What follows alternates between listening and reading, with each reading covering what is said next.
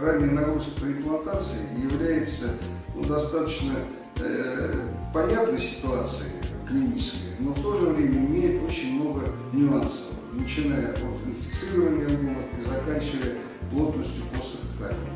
Э, курсанты, как мы называем наших докторов, наших коллег,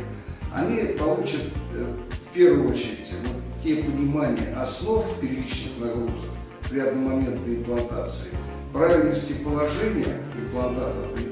при одномоментной имплантации и э, каким образом необходимо нагружать, в каких объемах, э, имеется в виду от количества потерь мускулов.